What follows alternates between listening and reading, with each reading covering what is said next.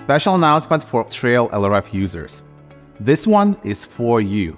As you know, we've sold thousands and thousands of trails over the years, and they're still in use. So we want to introduce the new firmware that enables ballistic calculations inside your scope, the same one we have in Thermion LRF models. Hope that brightens up your day. You deserve that. For more info, check the description. Enjoy!